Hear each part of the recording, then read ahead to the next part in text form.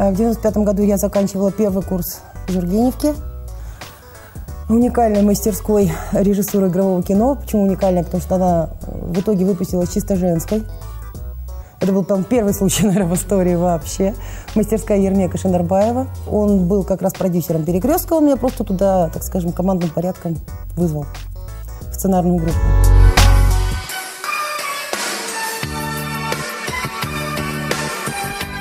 Приехали англичане, да, привезли вот эту технологию на производство сериалов, о которой никто не знал. Всех этих долгосрочных э, сериалов. И они вот долгое-долгое время обучали. Как раз нашу группу именно э, работа с многокамерным методом, то есть работа со сценарием, э, работа режиссеров на площадке, раскадровка, то есть как это все делается. Да, они этому учили. Ну, а потом они, честно говоря, ожидали, что мы продержимся где-то, ну, от силы 24 серии. И на этом закончим. Мы продержались 5 лет. Ой, наконец-то я до вас добралась. Здравствуйте, Роза. Мне это, зовите, это, Люсю, у меня э, для нее, это, как его, сенсация, вот. Англичане народ очень неторопливый. Э, народ очень спокойный. У них один выстрел, готовится там серии 5-10, э, готовится один выстрел, потом идет долгое расследование. Как только они уехали, дружно у нас загорелись киоски в, сценариях. Начались какие-то драки, разборки и все остальное. То есть этот наш темперамент, он наконец вылез. И события стали, появился следователь, которого не было. Арестованный, ведите себя спокойнее. И э, пошли какие-то бандитские дела, криминал. Это тут же появилось. Мы должны были реагировать на те события, которые в стране тогда происходили. Это все должно было отражаться. Приватизация, потом переезд в столицы. И все это вот... Все это вплеталось в сюжет, естественно. Нам со стариком повезло. Дождались мы новую остановку. Э. Своими глазами посмотрели. Иншаллах. А что касается Алматы, Хайрат, то он все равно останется душой нашей страны. А Астана как Вашингтон.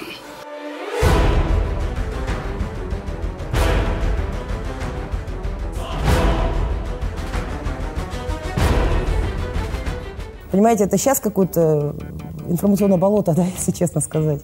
Несмотря на обилие интернета и всего остального, мало что происходит по сравнению с 90-ми. С 90-ми каждый день происходило что-нибудь. И хорошее, и плохое. Это были просто сумасшедшие какие-то года тогда, когда мы до сих пор удивляемся, как мы все это пережили. Было, с одной стороны, интересно, с другой стороны, было очень тяжело, страшно, голодно, холодно. Мы работали в кабинетах, сидели. Неотапливаемые киностудии, где висели сосульки в перемешку с паутиной. Стояла холодрыга страшная. У нас посреди кабинета стоял обогреватель, мы были укутаны в какие-то шубы, и так далее. И писали еще, компьютеров не было у многих, писали от руки. Э, собственно, «Перекресток» он возродил киностудию. Она жила благодаря ему. Потому что это был, вы, наверное, не представляете себе, вам трудно представить, вот в декорациях фильма ужасов. Она была разваленная. Вот просто сыпалась. Там близко даже были полувыбитые окна. Были страшные эти темные коридоры. Отключался свет периодически. Было очень страшно. Мы были там одни. Порой туда забредали какие-то странные люди, странные дамы с, с кислотой, требующие дать им роль. Вот мы одну такую запомнили. Она очень хотела сниматься, она притащила какую-то страну, как мы предполагали, кислота в банке у нее, что ли, была. И мы кое-как дозвонились до охраны. Страшно было. Но и вот именно благодаря перекрестку киностудия вдруг начала оживать. Начала оживать, там стали что-то снимать, что-то делать. И... А это продержалось где-то ну, наверное, до двухтысячных, может быть, до начала. И все. Был какой-то вот такой именно всплеск.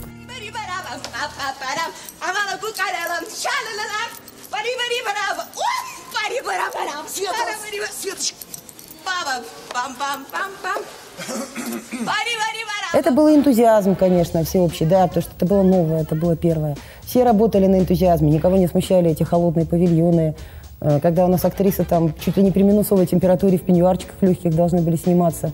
И все, теперь все это переживалось, потому что видели результат. И процесс был увлекательный, и результат был увлекательный. А когда актеры из перекрестка попадали в регионы, э, звезды Голливуда могли позавидовать. потому что они, там творилось что-то невероятное, когда их видели. И я сама ходила, помню, в тот период я попала на премьеру Лермонтовский, где в спектакле участвовало два или три актера из «Перекрестка». Зал просто ломился. Когда они выходили на сцену, встречали какими-то овациями, они просто появлялись на сцене. То есть уже даже не сама пьеса была важна, а просто на них посмотреть.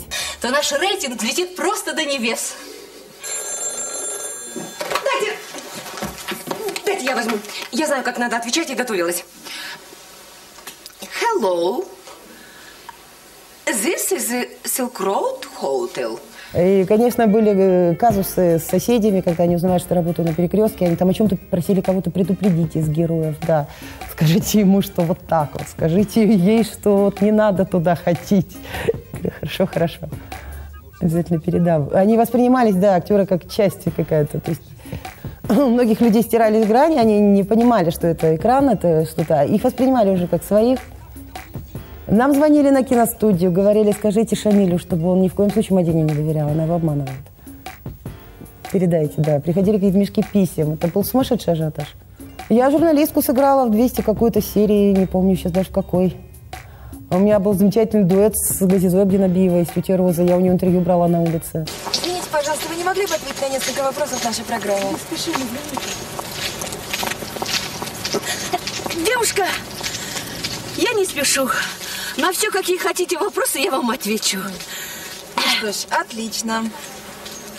Первый вопрос. Как вы относитесь к рекламе? К рекламе? К рекламе очень хорошо отношусь. Потрясающая, конечно, актриса комедийная, просто это когда божий дар, вот настолько смешно уметь себя преподносить. Так что, ну а как, как, как эпизодик? Сказали, нужно, тем более это... Нет, это не мой сценарий, наверное, был. Я сейчас даже не вспомню, чей. Мне просто сказали, срочно нужно журналистку изобразить. Все. Что-то мне быстренько так подшаманили, что-то меня напялили, дали микрофон, дали текст почитать вперед. Дама, отдайте микрофон. Не отдам. А вы снимайте. Снимайте как следует. Актеры-то они снимают сливки, но с другой стороны, актеры, они э, старались подмазаться многие к сценарной группе, потому что чем больше у них сцен, которые мы напишем, да, чем интереснее у них сюжетная линия, тем выше их популярность. Так что они вокруг нас так вот ходили. Э, Большое спасибо художникам по декорациям, большое спасибо художникам по костюмам, потому что отмечали, что актрисы у нас роскошно просто одеты были. Как они ухищрялись, вы даже не представляете, у нас были шубы просто перед, например. Они могли вот сшить там из частей меха, и актриса э, создавала впечатление, что она в шикарной шубе. А это был только перед. И в каких-то тряпочек под- подручных средств из комиссионок они умудрялись вот там кроить вот эти какие-то шикарные наряды. Ну а что, мы, мы сами жили так же.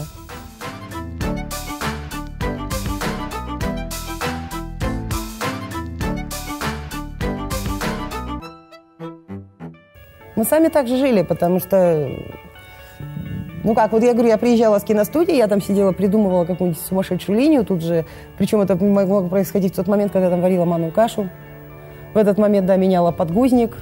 Я приносила серии э, разрисованные дочке, помогала, просто залезала на колени, помогала, что там рисовала. Э, Чтобы не переписывать вот этот огромный вариант, этот объем, приходила, извинялась, говорю, ну вот иллюстрации. Что поделать. Тот же самый быт был.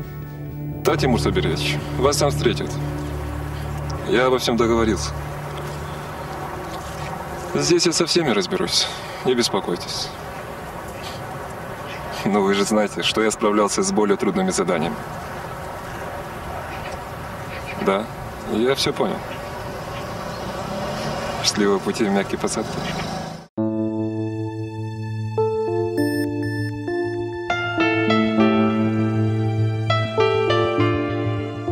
Саги Ашимов это было совершенно неожиданно. Э, Это помимо, э, так сказать, чисто человеческой скорби, да, это была паника в сценарной группе в первую очередь. Человек вечером попрощался со всеми, утром его нет.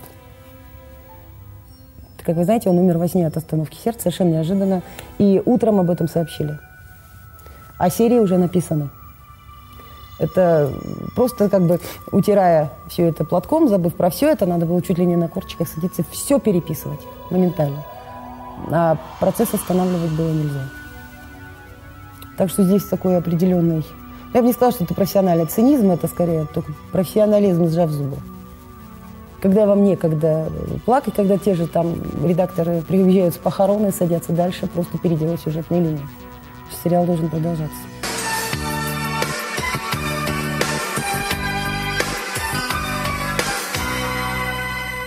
И мне что нравится в «Перекрестке» именно, вот в отличие, например, от, сериала, от сериала «Саргалым», который сейчас тоже считается вот на данный момент одним из самых, даже если не одним, а один из самых, а, э, самый рейтинговый. Вот сейчас из казахстанских сериалов последних лет «Саргалым».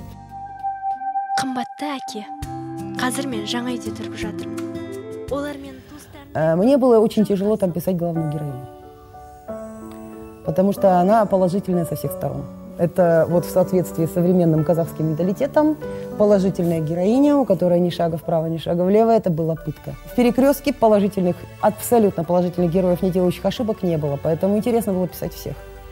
Э, Ну, нету там паинек. Там спотыкались все, так или иначе.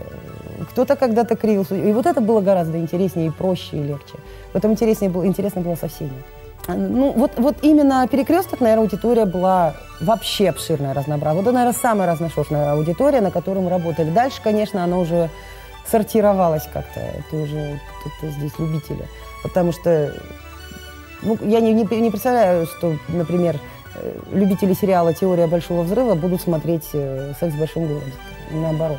То есть все равно они как-то расслоили. А этот был для всех, вот сериал для всех. Здесь были задействованы и дети, и подростки, и взрослые, и старики, как-то вот все категории.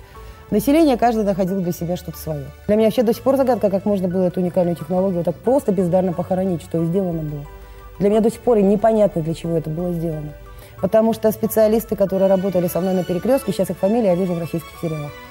Эту уникальную технологию просто отсюда увезли. ой вай у меня клад украли крюки Ну все, я, пожалуй, пойду. Я не хотела бы сейчас вдаваться в подробности, но там происходили, конечно, определенные конфликты. Все-таки пять лет совместной работы, поэтому часть команды, она ушла, заканчивала другая команда и заканчивала, насколько я знаю, вынужденно. Когда уже просто возник определенный кризис, и была дана команда, что, ребята, закругляйтесь. Было интересно наблюдать, как актеры взрослеют. Ну, пять лет – это огромный срок. Например, вот здесь героиня Маришка, она пришла подростком, 15-летним, и к концу сериала ей уже было 20. Это совсем другое уже. То есть из пухленькой девочки-подростка она превратилась уже в молодую девушку. У меня дочка из э, вот этого, она к концу сериала уже была пятилетним ребенком, который рассуждал, там ходил по киностудии в этих декорациях, давала свои комментарии. Еще бы дали волю, мы бы, я не знаю, еще лет 10 бы его писали дальше.